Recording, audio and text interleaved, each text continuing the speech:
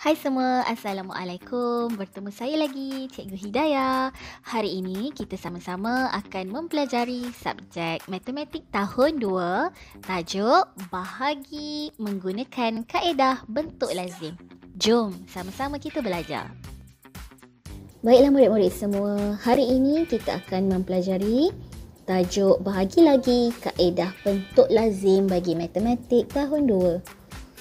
Di akhir pembelajaran ini, kamu akan dapat untuk membahagi dalam lingkungan fakta asas dan seterusnya kamu akan dapat membahagi sebarang nombor 2 digit dengan 10. Baik, mari kita lihat contoh yang pertama. Ada tujuh keping kad. Kad itu dibahagi sama banyak kepada dua orang murid.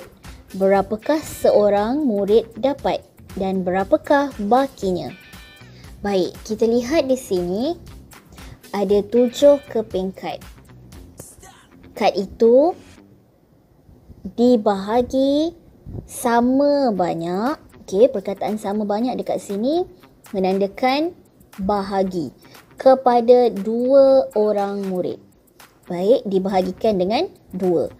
Jadi berapakah seorang murid akan dapat? Dan juga dia telah nyatakan di sini berapakah bakinya. Baiklah murid-murid semua. Di sini merupakan ayat matematik yang masih belum lengkap lagi. 7 bahagi 2 sama dengan kita perlu cari jawapannya. Okey, jadi cikgu akan tunjukkan kepada awak semua bagaimana ingin menyelesaikan soalan bahagi menggunakan kaedah bentuk lazim. Okey. Pertama sekali, apa yang awak perlu lakukan adalah dalam kaedah bentuk lazim untuk soalan bahagi, kita akan buat seperti bumbung rumah. Baiklah, kita akan lukiskan seperti bumbung rumah. Okey. Dan nombor yang sampai dahulu di sini adalah nombor tujuh. Oleh itu kita akan tuliskan nombor tujuh di dalam bumbung rumah. Seterusnya, dibahagikan dengan dua. Oleh itu nombor dua kita akan letakkan di luar bumbung rumah. Baik, ini adalah langkah pertama untuk menyelesaikan soalan bahagi dalam bentuk lazim. Seterusnya, kita akan senaraikan ke semua sifir 2. Kenapa sifir 2? Kerana apabila 7 bahagi 2, bermaksud kita akan gunakan sifir 2. Okey, kita senaraikan dahulu 1 hingga 9 untuk memudahkan kita menyenaraikan ke semua sifir. Baik di sini 1 darab 2 2. Baik kita senaraikan 2. 2 3 4 5 6 7 8 dan 9. Okey, seterusnya kita akan senaraikan sifir 2. Okey, 1 darab 2, 2. 2 darab 2, 4. 3 darab 2, 6. 4 darab 2, 8. 5 darab 2, 10. 6 darab 2, 12. 7 darab 2, 14. 8 darab 2, 16. Dan akhir sekali, 9 darab 2 berapa? Good, 18. Hmm, oleh kerana itu, awak kena hafal sifir untuk uh, melancarkan lagi operasi bahagi ni uh, supaya kita dapat selesaikan uh, soalan bahagi dengan pantas bila kita dah hafal sifir. Baik, jadi dekat sini sekarang kita kembali pada uh, nombor di dalam rumah tujuh. Ada tak sebarang nombor di sifir dua ini kita dapat jawapannya tujuh? Ada tak apa-apa dalam sifir dua jawapannya tujuh yang didarabkan sama dengan tujuh? Tak ah? Tak ada. Tapi kita boleh kena pasti tujuh ni terletak di mana? Okey, so kita tengok dekat situ. Tujuh terletak antara, ya di sini. Antara enam dan juga lapan. Tujuh berada di situ. Okey, untuk bahagi kita tak boleh ambil tujuh kerana dalam sifir dua tak ada jawapannya tujuh. Jadi kita akan pilih nombor yang paling hampir dengan tujuh. Ada dua nombor yang paling hampir dengan tujuh di sini iaitu nombor enam dan juga nombor lapan. Jadi yang mana satu kita akan pilih? Baik ingat, kita perlu pilih nombor yang paling hampir dan yang kedua, kita perlu pilih nombor yang lebih kecil. Okey, kenapa lebih kecil? Sekejap lagi cikgu akan terangkan. Okey, so dekat sini siapa yang lebih kecil? Kita boleh lihat 6 ataupun 8. Ya, 6. 6 lebih kecil. Okey, jadi kita akan ambil nombor yang di depan ni, 3, letak di atas bumbung. Okey, letak di atas bumbung. Sebelah dia 6, letak di bawah 7. Di bawah bumbung. Baik, kemudian kita perlu tolakkan. Kita perlu tolak. Okey, tolakkan.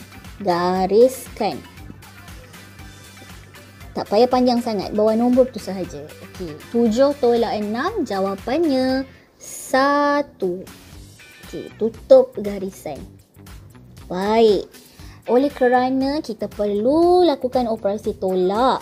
Oleh itu sebabnya kenapa kita perlu memilih nombor yang lebih kecil. Sekiranya kita pilih 8, ha, kita tak boleh tolakkan 7 dengan 8 kerana 7 lebih kecil. Oleh itu ingat kita perlu pilih nombor yang paling hampir dengan 7 dan lebih kecil sebab kita akan jalankan operasi tolak. Bagus. Okey, seterusnya. Berapa jawapannya sekarang? Kita lengkapkan semula ayat matematik di sini. Okey, 7 bahagi 2 sama dengan berapa? Dekat sini untuk bahagi jawapan kita berada di atas bumbung ni. Ha. Ini adalah jawapan. Jawapan kita bukan satu kerana satu ini kita kenali sebagai baki. Okey, ingat untuk bahagi di atas adalah jawapan, atas bumbung adalah jawapan, bawah bumbung ni, di bawah sekali ni adalah baki. Jadi jawapan kita adalah 3 baki 1. Okey, jadi kita boleh tulis kat sini jawapannya 3 baki 1. Baik, jelas murid-murid semua? Baik, kita pergi ke contoh yang seterusnya. Okey. Baik, ada 20 biji mangga. Okey, longgokan enam-enam. Ni maksud longgokan. Okey, kumpulkan. Berapa longgok mangga? Berapa longgok ni bermaksud berapa kumpulan mangga. Dan berapakah baki mangga. Okey, dekat sini kita dah boleh nampak dah. Tiga kan? Sebab satu, dua, tiga longgokan daripada 20 mangga dia longgokkan atau dibahagikan. Longgokkan 6-6 ni maksudnya dibahagikan kepada 6-6-6. Okey, jadi kita boleh nampak kat sini ada satu kumpulan, dua kumpulan, tiga kumpulan. Dan baki tu maksudnya berapa lebihannya. Di sini kita nampak ada dua lebihan. Tetapi sekarang kita nak selesaikan menggunakan bentuk bentuk lazim. Okey, kita buat macam yang cikgu terangkan. Yang pertama sekali apa langkah dia? lukis. Pertama sekali apa langkah dia tadi? Bumbung rumah. Okey, kejap. Bumbung rumah. Okey, first sekali bumbung rumah. Buat macam bumbung rumah dekat sini. Okey. Kemudian kita lihat di sini 20. 20 biji mangga yang dibahagikan kepada 6. Okey, so kita tulis dekat dalam bumbung rumah yang datang dulu 20 bahagi berapa bahagi 6 6 di luar rumah Okey, kemudian apa kita perlu buat? Yang kedua, kita senaraikan sifir. Sifir apa yang kita akan gunakan di sini? Kita gunakan sifir 6.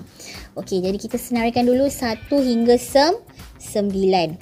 Okey, satu, dua, tiga, empat, lima, enam, tujuh, lapan dan sembilan. Okey, sama-sama senaraikan sifat enam untuk cikgu. Satu darab enam, enam. Dua darab enam, dua belas. Tiga darab enam, lapan belas. Empat darab enam, dua puluh empat. Lima darab enam, tiga puluh. Enam darab enam, tiga puluh enam. Tujuh darab enam, empat puluh dua. Lapan darab enam, empat puluh lapan. Sembilan darab enam, lima puluh empat. Ha, sebab tu cikgu banyak kali ingatkan untuk awak hafal sifir. Baik, seterusnya kita lihat di sini di manakah terletaknya 20? Ada tak dalam senarai sifir 6 ini 20? Tak ada. Jadi kita kena pasti 20 terletak di mana? Ya, pandai. Di sini eh, 20. Okey, 20 terletak di sini. Ha, kurang jelas kejap saya besarkan sikit. Ha, 20 kat situ. Jadi, macam yang cikgu terangkan di soalan sebelum ni, yang mana satu kita nak kena ambil? 18 ataupun 24. Kita lihat yang paling hampir dan kecil dan lebih kecil. Okey, paling hampir dekat sini ada dua sama ada 18 ataupun 24. Jadi kita akan ambil yang mana? 18. Okey, 18 depan dia berapa? 3. So letak dekat mana? Okey, ha, dekat sini nak kena terangkan dan nak kena lihat betul-betul. Tiga. Depan dia tiga ni kan. So kita perlu letak tiga adakah di atas dua ataupun di atas sifar. Sekiranya kita letak atas dua, salah. Kerana ianya hanya untuk nombor dua di bawah ini. Jadi kita sekarang ni ambil dua puluh kan tadi.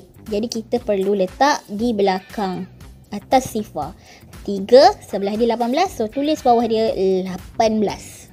Okay, dan seterusnya apa kita kena buat? Kita kena tolakkan. Okey, kita kena tolakkan. Baik, so kita tolakkan 20 tolak 18 gariskan jawapannya. Okey, kita tolak sama-sama. Sifar tak boleh tolak 8, pinjam kawan sebelah menjadi 10. Ini jadi 1. 10 tolak 8, 2. 1 tolak 1, sifar. Sifar dekat depan tak ada ni nilai. Tak payah tulis pun tak apa. Jadi apa jawapan kita sekarang? 3 bakinya 2. 3 baki 2. 20 bahagi 6. Jawapannya 3 baki 2. Okey, kalau dekat gambar ni pun awak dah boleh nampak ni kumpulan 1, ni kumpulan 2, ni kumpulan 3 dan bakinya adalah 2. Ni adalah baki. Okey, tapi cikgu nak tunjukkan juga jalan kerja dari segi bentuk lazim. Okey, jelas semua? Baik, seterusnya kita pergi ke soalan yang ketiga. Baik, awak boleh lihat di sini 56 bahagi 10. Macam mana kita nak bahagikan sekiranya kita bahagikan 10 ataupun mungkin 100 kan? Okey, sama juga yang pertama buat bumbung bumbung rumah. Okey, kemudian tulis yang nombor yang sampai dulu di dalam bumbung rumah. So dekat sini 56 bahagi dengan 10. 10 letak dekat luar rumah. Okey, luar bumbung. Baik, sifir 10 senaraikan sifir. Satu, dua, tiga, empat, lima, enam, tujuh, lapan, sembilan. Okey, dan senaraikan sifir sepuluh. Senang sifir sepuluh kan? Dua puluh, tiga puluh, empat puluh, lima puluh, enam puluh, tujuh puluh, lapan puluh dan akhir sekali sembilan puluh. Baik, sekarang kita lihat di sini. Lima. Lima tak ada kan? Jadi kita buka lima puluh enam. Okey, lima puluh enam. Ada tak 56 dekat sini? Tak ada juga. Tapi 56 terletak di ha, di sini. 50 eh. 56. Okey, saya tuliskan kan. Okey, 56. Baik. Siapa yang kita perlu ambil sama ada 50 ataupun 60 lah yang lebih kecil. Yang lebih yang paling hampir dan yang lebih kecil. So dekat sini yang lebih kecil adalah 50. Jadi awak akan letakkan Sebelah ni, depan ni 5 di atas bumbung. Ingat, jangan letak atas 5 sebab ini adalah untuk 56. Jadi 5 letak atas 6. Okey, 5 darab 10 ni sebelah dia, 50 letak di bawah. Okey, tolakkan. Tolakkan. Gariskan jawapan. 6 tolak sifar. 6, 5 tolak 5 sifar. Sifar di depan tak ada nilai, tak payah tulis pun tak apa. Okey, jadi ni adalah jawapan dan ini adalah baki. Okey, baki. Jadi jawapan kita adalah 5 baki 6. Okey, 56 bahagi 10 jawapannya 5 baki 6. Baiklah, Cikgu harap awak jelas dengan penerangan yang diberikan. Baik, sekarang mari kita sama-sama uji minda dan cuba awak lihat manakah jawapan yang betul. Sama ada jawapan A ataupun jawapan B. Lihat jalan kerja. Yang mana satu yang betul. Dan awak boleh nyatakan jawapannya di dalam ruangan komen.